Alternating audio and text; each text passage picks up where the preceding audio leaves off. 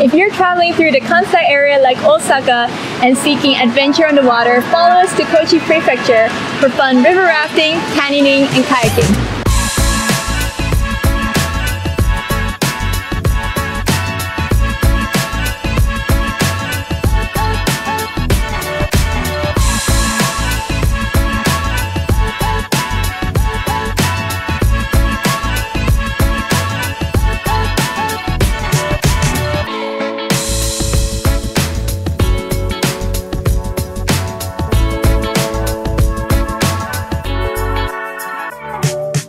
The long course that we do, the Koboke course, is, is world-class rafting.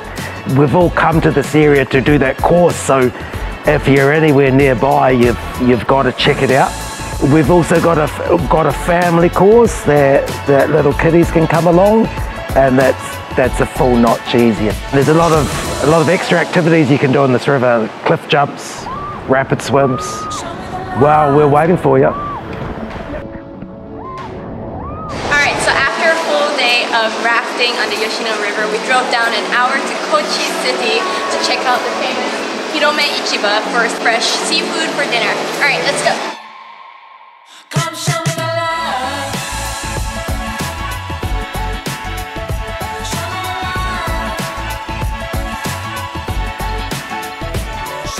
Hello.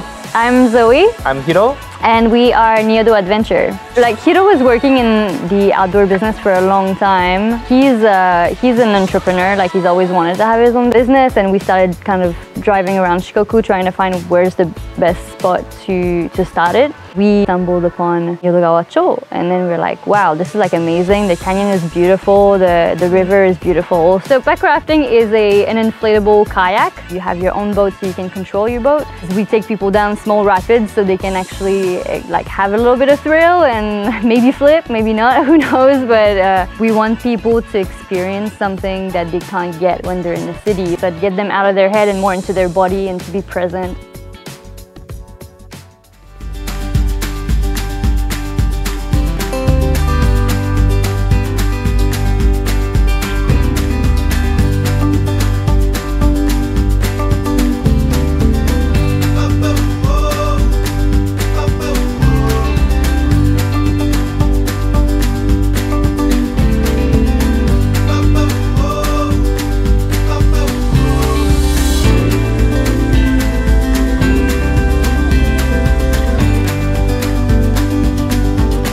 最後の清流とねあの、まあ、言われてますけど、まあ、それに恥じないようなね透明度とあと雄大さもありますんでその辺はあの高知県にとっては自慢できる川じゃないかなと思ってますね。初心者向けの、まあ、コースともなってますのであの初めての方でもあのちょっとした説明聞いてもらって練習してもらったらすぐに乗れるね、えー、カヌーコースとなってます、まあ、結構ね刺激のあるね部分でしてあのまあ、まあ、初心者コースとは言いましたけど、うんあまあ、そこもねあの初めての方が下っていけるコースになってますんで。